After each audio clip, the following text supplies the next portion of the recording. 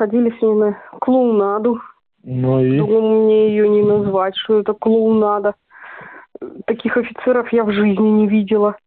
Вальяжных, хуевых, я не знаю, даже плюнуть в морду и то, ну, как сказать, мало ему этого. Кураков. М, Сергей Дмитриевич, или как его там, просто кто. Дурак дураком. Чего он собирался? Э, Задали вопрос по э, выделению земель.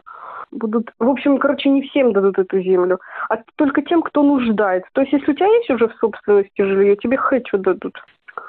Потом спросили про отпуска, почему нет дальше отпусков. Он сказал, что следующий борт готовится на отпуск в субботу. А потом он вообще сказал, что участникам СВО вообще не положен отпуск. В общем, сходили как в цирк. Вот не надо ходить в цирк, сходи к вам на собрание и посмотри на Куракова в главной роли. Понятно. Я ничего не знаю, моя хата с краю и вообще.